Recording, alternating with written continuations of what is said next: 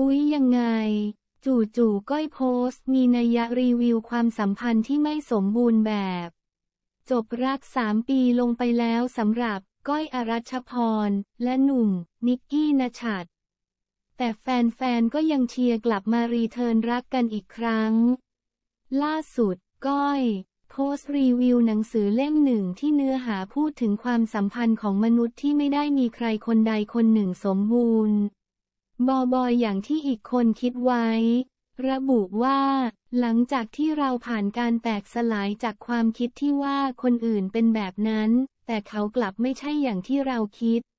เราเป็นแบบนี้ แต่จริงๆ เราแค่หลบซ่อนความจริงไว้อย่างขี้ขลาด ชีวิตเหวี่ยงเราไปมาไม่รู้จบ เมื่อความเจ็บปวดนี้กระจ่างในใจเราก็พยายามอย่างที่สุดที่จะฟื้นคืนให้ได้เพื่อใช้ชีวิตต่อไป แต่มันก็ไม่ง่ายเลย จนบางทีเราก็ขอเลือกยอมแพ้ในศรัทธาที่มีต่อความสัมพันธ์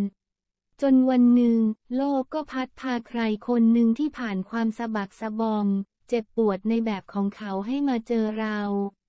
ในเวลาและจังหวะที่ถูกต้องนั่นคือความโรแมนติกอย่างที่สุด ถึงผู้เขียนจะออกตัวว่าเรื่องนี้